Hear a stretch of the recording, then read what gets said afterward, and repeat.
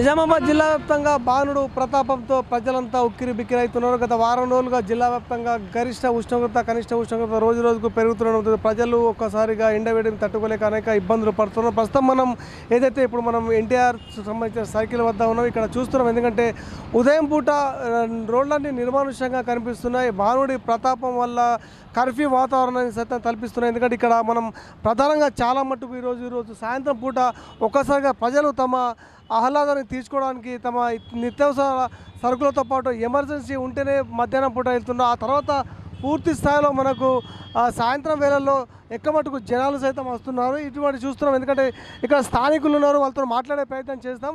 చెప్పండి ఎందుకంటే ఉదయం పూట ఎండలు సాయంత్రం పూట చల్లదనం ఇలాంటి పరిస్థితుల్లో మీకు రోజు వాతావరణం ఎట్లా అనిపిస్తుంది? నిజామాబాద్ నగరంలో ఉష్ణోగ్రతలు గత వారం రోజుల నుంచి నలభై ఐదు నుంచి నలభై ఆరు డిగ్రీల సెల్సియస్ నడుస్తున్నది. కాబట్టి పొద్దున పూట వెళ్ళాలంటే బయటకు వెళ్ళాలంటే కొద్దిగా ఇబ్బందికరంగా ఉంటున్నది.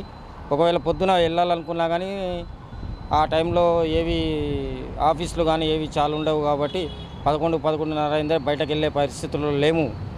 కాబట్టి సాయంకాలం పూట ఏదైనా ఎమర్జెన్సీ వర్కులు ఉంటేనే బయటకు వెళ్ళి వర్క్ చేసుకుంటున్నాము. ఇది చూస్తున్నాం. అంటే స్థానికులు సైతం తమ ఎందుకంటే ఇప్పటికే ఎండ వేడిని తట్టుకోలేక మనకు ఇబ్బందులు పడుతున్నామని చెప్తున్నారు. ఎందుకంటే ఉదయం పన్నెండు గంటల వరకు బాణుడి ప్రతాపం ఉగ్రరూపం దాలుస్తుంది. పన్నెండు తర్వాత సుమారు ఐదు గంటల ప్రాంతం వరకు మనకు అనేక ఉష్ణోగ్రతలో మార్పులు చోటు చేసుకుంటాయి. ఇలాంటి పరిస్థితుల్లో బయటకు వెళ్ళాలంటేనే జంకే పరిస్థితి ఉందని చెప్పేసి స్థానికులు చెప్తున్నారు. ఈ విధంగా మనకు నిజామాబాద్ జిల్లాలోని గరిష్ట ఉష్ణోగ్రతలు పెరుగుతుండడంతో ప్రజలు సైతం ఉక్కిరి బిక్కిరి అయ్యే పరిస్థితి నెలకొంది. ఇలాంటి పరిస్థితుల్లో భానుడి ప్రతాపంతో పాటు ప్రజలు ఎలాంటి ఇబ్బందులు ఎదుర్కొంటున్నారు అనే అంశంపై స్థానికులు ఇక్కడ ఉన్న వాళ్ళతో మాట్లాడే ప్రయత్నం చెప్పండి. ఎందుకంటే ఇప్పటికే గత వారం రోజులుగా ఎండలతో ఉక్కిరి బిక్కిరి అవుతున్నారు ప్రజలు. ఇలాంటి పరిస్థితుల్లో ప్రస్తుతం మీకు ఎట్లా అనిపిస్తుంది? ప్రస్తుతానికి ఉంటుంది. ప్రజలందరూ ప పది పదకొండు గంటల లోపల పనులు చేసుకుంటున్నారు. మళ్ళీ సాయంత్రం ఐదు ఆరు తర్వాతనే బయటకు వెళ్తున్నారు. ఈ మధ్యలో ఎవరు బయటకు వెళ్తారు? పనులు చేసుకున్న ఎవరైనా చేసుకుంటూ వాళ్ళు ఉన్నారంటే పదకొండు లోపల చేసుకుంటున్నారు. సాయంత్రం ఐదు ఆరు తర్వాత వెళ్తున్నారు.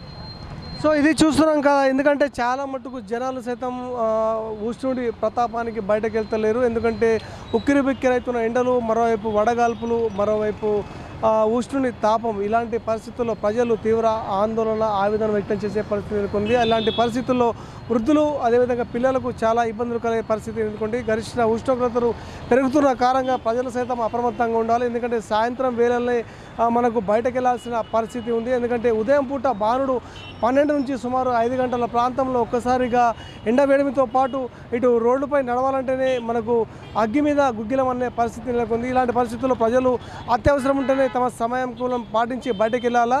లేదని పరిస్థితుల్లో సాయంత్రం పూట మనకు మనకు బయటకు వెళ్ళి తమ కార్యకలాపాలు చేసుకోవాల్సి ఉంటుందని చెప్పేసి మనం సైతం చెప్తున్నాం. Camera person అభిలాష్తో Dhananjay K six news Nizamabad.